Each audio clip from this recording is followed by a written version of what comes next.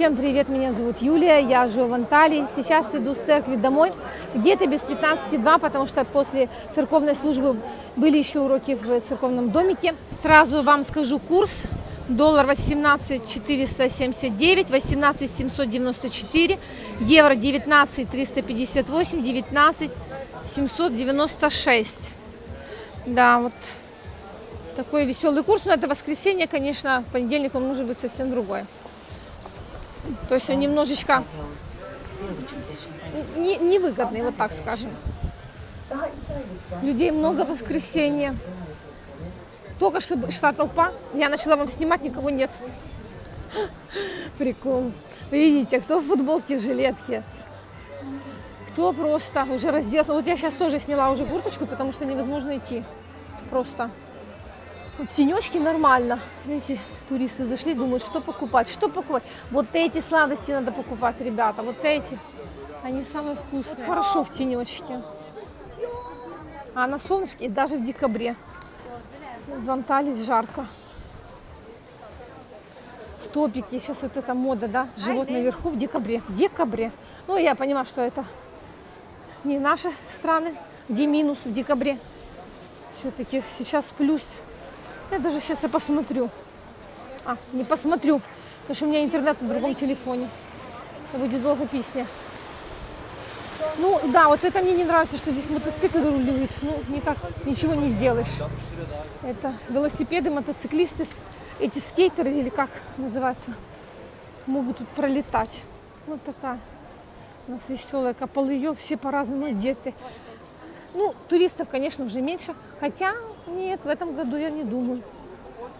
То есть, если зимой, в прошлых годах практически там мало было слышно кого-то на нашем языке, то сейчас очень много. Никто же не уехал. Все еще больше приезжают. Ну, конечно, из-за финансовых таких приколов нашего городка, скажем так, если квартира стоила 3000 лир, то сейчас она может стоить 12 и 15 тысяч лир. Конечно, многие уезжают. И вообще квартиры уже тяжело найти даже. Не говоря о цене, их просто нет. Отели тоже подняли цены невообразимо. То есть номер, который, ну, ну, можно было легко там за 150 лир снять, сейчас 450. Еще смотрят, это говорит вообще 500. 450 это как так, со скидкой. Не, понимаешь, что электрика, вода стала дороже, это, это несомненно. И поэтому, ну, еще тот фактор, что все занято, это тоже многое на что влияет. Это у нас красивый Кити. Туда мы не пойдем, потому что там толпа. Хотя здесь тоже вот уже готовится к Новому году. А что это значит? Это значит, что на витринах будет все красное. Видите? Ну, обычно нижнее белье должно быть красное. Любой год, независимо. Кстати, ой, не модно. У них нету такого. У них, если Новый год, значит, ты должна быть в красном белье. Тогда у тебя будет удача. Да, это ну, вот так. Вот так вот только это считается так. Артисты. Ну, магазин очень старый этот. Ну, я имею в виду, понятно, обновили его весь. Но он в 2004 году он же уже здесь был, уже продавали нижнее белье. Просто, может, выкупили, перекупили, немножко сделали ремонт. Вот так. Ассортимент именно нижнее белье. Вот, пожалуйста. Купили красное белье и уже удача целый год. Я шучу, вы понимаете, да? Такого не может быть. Ну, я обычно прохожу возле Маркантали, но я решила пойти этой стороной, потому что девочка недавно говорит, я зашла в сладости, там такие цены. Я говорю, да ладно, недавно вроде заходила. Юля зависла. Да-да-да. Слушайте, такое чувство, что это печется в отеле Портобелло. Серьезно вам говорю. Вот это было в отеле Портобелло, вот это было в отеле Портобелло. Вот это было. Может, это просто одна фабрика все делает, а потом развозят. Но этого не было, триличей в отеле не было. Честно, очень вкусно готовят. Просто, просто нереально вкусно. Кто хочет поправиться, вам в Портубелло, пожалуйста. Поправитесь легко. Так, вот лукум атолиси. Пойдемте проверим все-таки цены. 230. О, о. Здравствуйте. Там, там есть молоко? Так, сказали, что здесь нету молока. Пробую. Это вот это. Угу. Вкусно. Я уже съела. М. Нету? А вот это есть. Здесь есть камак. Это молочный продукт. Угу. Это из Но это каймак, очень вкусно. да, и молоко есть. Да, и молоко, и каймак. 235. Нельзя, потому что в шоколаде есть. В самом э, э, вот этом нет, но в шоколаде есть. Да, есть фруктовые. Вот, и гранатные есть. 295. Ну, это потому что лесные орехи. Да, цены поднялись. Было, было 190, я помню. 360, мама.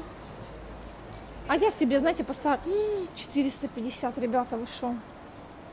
295. 360, вот эти желейные. Вот это не желейные, я их никогда серьезно не воспринимаю. Может, я что-то ошибаюсь. Только недавно они были 360. Это все фруктовые. О, это что-то новое. Это что такое? Это яблочный. Яблочный? Да, яблочный. Смотрите, это яблочный. Это не, это вот А. это фисташками карамель. Это карамель, Да, мед и фисташки. да, да, да. Мед, Вкусно. мед. да. Мед, фисташки. Мгм. Это кружочки шоколада, да? Да, да, да. Это шоколадный, это карамельный Кара- гранат. Вот это вкусно. Не приторно и не кисло. Это миндаль, девушка. Мгм. Миндаль, яблочко. Очень красиво. Это новое. Это да. Буйени это дыма? Новый, да, 495. Очень да. интересно. М, Это тоже яблоко. Это тоже ананасное, что новое что-то. И это яблоко. Это ананас, Это инжир там. Это инжир. Инжир. Это инжир. И потом фундук. Угу. 495. Ну, я смотрю, Это что ну, больше разнообразия у них стало. Больше выбор. Вот эти 450 я тоже не помню. Ну, конечно, цены поднялись очень сильно. Да. Апельсины еще есть, вот говорят. Вот такие отдельные коробочки. Но я не рекомендую вам отдельные, потому что вы не знаете, сколько они стоят вот так открытыми. Так вы покупаете целую колбаску, и вам разрезали, и оно все равно плотненько лежит. А вот смотрите, Джевисли Суджук 295, офигеть. Извините за сленг, но это прикольно, да? Пуговицы кушать. 275, 275. Кофе. Вкусный, да, вот этот кофе? Да, да, да. Вот, По-моему, мне стоит такой, мне, наверное, подарили. да. Это, вот это тоже. Это шоколад, все правильно? Шоколад. Это какой-то особенный шоколад? Да, просто Цвет есть с, ми- э, с миндалем, есть с фисташками, э, разные формы. Мгм. Вот эти тоже вкусные, я уверена. Я уверена, что эти вкусные. Да, да. Вот это, мне тоже кажется. мы знаем. Да, 235. И такие конфеты. 250. И такие. Да, девочка правду говорила. 70 лир. 85 такая коробочка. 60. Ага, и сердечком 35. Это апельсиновый, да? Да. Вот все на экране написано. Плюс кофе можно перемолоть. 1 килограмм 280 лир. Турецкий кофе. Мгм. Такая пачечка 56. Где это я видела? Слушайте, может у меня дома даже. Может не подарили. Да, спасибо людям дарят кофе, потому что ну, оно подорожало. И вот такие 575 коробочки. Можете уже сразу купить, ну цены, да, поднялись 125, лукум. Да ну вы что, 8,99 за пешмание, даже не, не тратьте деньги.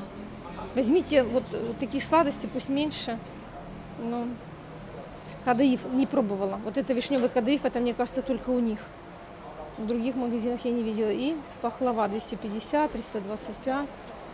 Боже, смотрите, меня угощают. Это шоколяд. Это... Ну, посмотрите. Я ее спрашиваю, здесь есть э, молочная? Она говорит, сейчас я посмотрю. Не знаю. 250, 325. А вот там ну, шоколадная это точно есть. Молочка. Очень прикольно. Красиво сделано. Ну цена, конечно. И ну тут 250, естественно. Так, меня угощают гранатой с фисташкой. Вот такая красота. Это где он? Это... А, вот это вот. Угу. 450. Да. Вкусненько. Немножко, немножко как, как жвачка. Ну, вкусно. Угу. Спасибо. Посмотрите, у них инжир в шоколаде и чернослив в шоколаде и с орехом. Это что-то новое, да? 495. Вот этого точно не было. Молодцы, придумывают. Вот смотрите, небольшая коробочка 175. Смотри, э, вы можете попросить коробку и просто сами положить то, что вы хотите, что вам понравилось. При этом пробуя, конечно же, или свежий, или нет. Просто вот это, понимаете, это менталитет такой. Надо ты золото, не надо. Все равно будут смотреть, выбирать. Любят, любят это дело. Я, ну, наверное, может, все любят, я не знаю. Мне как-то вообще фиолетово. На золото. Да, если я вижу что-то красивое, мне нравится. Но мне так в облом что-то идти выбирать, это просто. Все, переходим. Чуть не сбыли зараз. Аккуратно ходите, потому что тут такие деловые есть, которые идут, ничего не видят. Ну, я тоже бываю такая делова, знаете. Иду и ничего не вижу. Вот Марк Анталия. Мы идем дальше вверх по трамвайным линиям. А вчера мы вечером шли, здесь так очень красиво все светится. Но у меня вчера такой день был просто.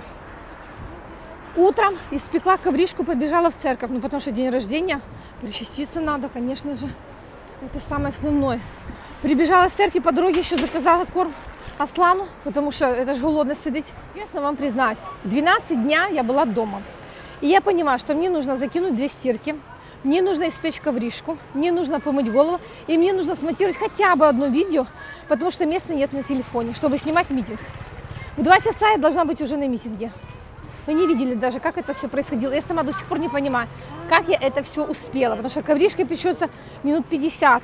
Я вот так монтировала, одной рукой колотала торт, там это стиралось, помыла голову, наверное, за минут 5. Я всегда, знаете, это ж мою голову, это ж долго песня. Вообще, я выбегла из дому с мокрой головой полностью. Успев все это каким-то образом, я выбегла из дому буквально без пяти два. И я понимаю, что в одной руке горячий пирог. Я даже с подноса не забрала его. Вот я просто с духовки я вытащила, положила на поднос и полетела. В пакет как-то засунула. Я подбегаю, понимаю, что на митинг я не пойду с ковришкой. Ну куда, как я буду снимать? Я подбегаю э, в киоск, и что там, пиво продается или что. И говорю, мне нужно куда-то поставить ковришку. Он такой он смотрит на меня. Мне кажется, у него даже глаз начал моргать. Типать, типать. Я говорю, мне нужно, понимаешь, куда-то поставить.